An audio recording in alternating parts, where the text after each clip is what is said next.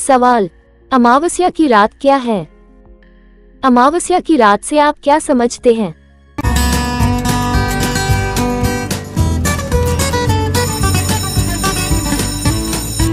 उदाहरण द्वारा समझिए।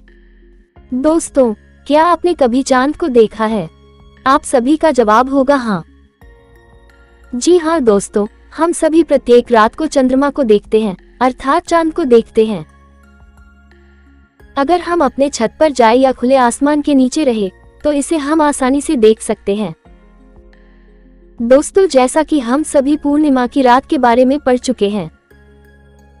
जो प्रत्येक महीने होती है।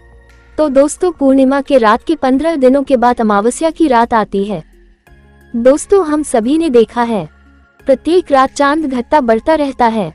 तो दोस्तों, अमावस्या की रात ऐसी होती है जिस रात को चाँद दिखाई ही नहीं देता। जिस कारण इस रात को अमावस्या की रात कहते हैं। तो चलिए दोस्तों, अब हम किताब के द्वारा दिए गए जवाब को भी देख लेते हैं। जवाब।